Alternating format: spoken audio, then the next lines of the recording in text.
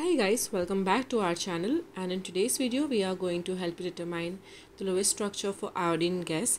It has a chemical formula of I2 and to understand its Lewis structure we will first calculate the total number of valence electrons. So here as we have two atoms of iodine and each atom has 7 valence electrons in its outer shell we are going to multiply this number by 2 and in total we have 14 valence electrons for this molecule. So now place both the iodine atom next to each other. We do not need to pick any central atom or any such thing because it is a diatomic molecule.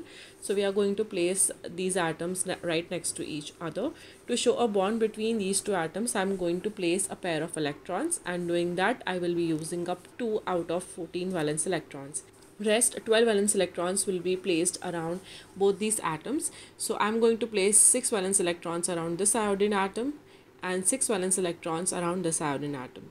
Doing that, we will have complete octets for both these iodine atoms as both these iodine atoms have 8 valence electrons in its outer shell.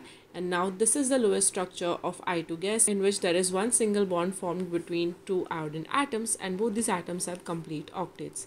I hope this video helps you to understand that and for more such videos on Lewis structure, molecular geometry, polarity of the molecules, make sure to subscribe to our channel and thanks for watching.